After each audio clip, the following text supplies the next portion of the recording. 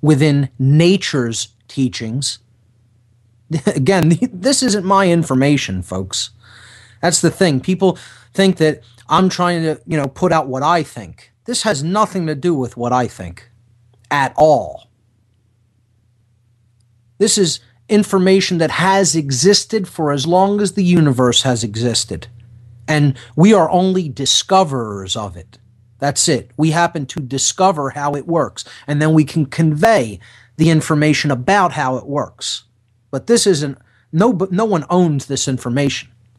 This is information about how nature works, period. No one owns the law of gravity.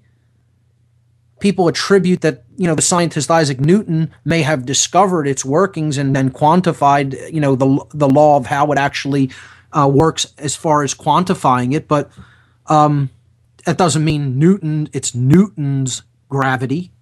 You know, that's an effect of the universe, period. It's a law that's in effect, period. So I want to make that distinction clear here for people that you know are in the state of mind where they hear something and think that it's uh, this is this person's teachings. No, this isn't my teachings. I'm just a, a vehicle for it of getting the word out about this because it's the most important information that we could ever know. And it is knowable.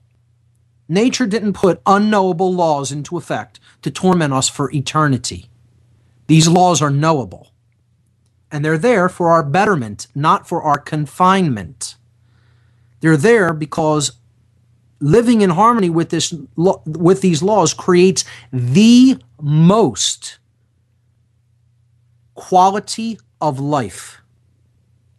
That's why they're there. They're put there in the polarity of love.